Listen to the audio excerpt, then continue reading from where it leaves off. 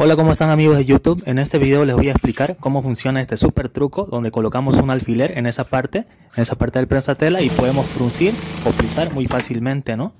Ahora les voy a explicar paso a paso. Ahí si se fijan es un alfiler común, a ver vamos a usar otro, cualquier color, este de aquí está amarillo. Y lo agarramos así y vamos a colocarlo así, ¿bien? Hacemos este movimiento, miren, bajamos así y vamos a colocarlo por la parte del medio hasta el fondo. Y es importante que quede pegando la aguja aquí en el prensatela al costado para que no se nos mueva y no tengamos ningún problema, ¿no? Ahí vamos a acercar, vamos a ver otra vez. Alzamos prensa tela, bajamos así, colocamos por la parte del medio hasta el fondo y que nos quede topando aquí en esta parte para que no se nos mueva y no tengamos ningún problema. Ahora vamos a ver otro ángulo. Ya saben, alzamos, bajamos, metemos hasta el fondo y que quede chocando en esta parte del tela.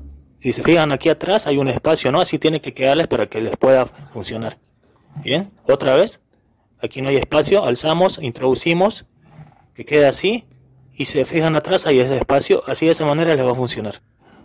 Otra cosa que también influye es el largo de puntada. Ahora vamos a probar en puntada número 2, puntada pequeña.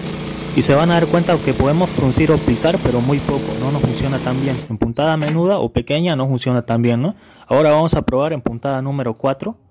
A ver, vamos a ver qué tal. Puntada número 4. Vamos a probar aquí ahora y se van a dar cuenta que podemos fruncir o pisar mucho más funciona mucho mejor, mira, así que de esa manera. Y otra cosa que también influye es la tensión, ¿no? Mientras más apretemos aquí, más va a fruncir. Vamos a apretar tres vueltitas y vamos a probar ahora.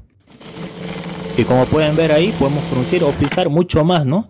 Entonces ya saben, la tensión y largo de puntada también influyen. Este truco es solo para máquinas industriales. Y ya saben, no se olviden suscribirse y compartir. Yo soy José Antonio y esto es el mundo de la costura.